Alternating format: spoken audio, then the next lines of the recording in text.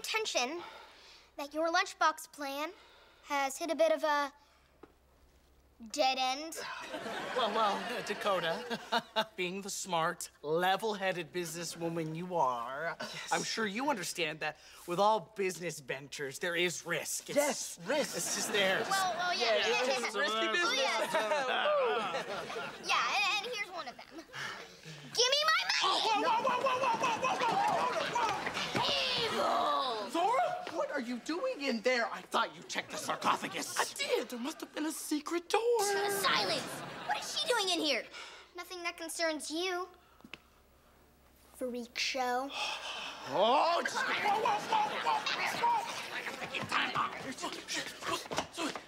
whoa, whoa. Actually, funny story. Uh, Dakota lent us the money to pay for the lunchboxes you invented. You put me in business with evil? That's what makes it funny. It's, No! No!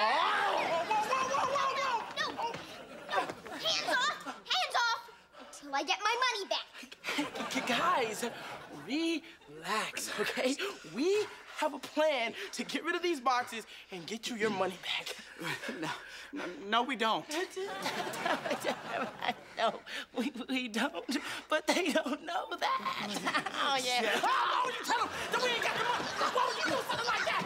Secret door. See, where's my secret door? Door knob.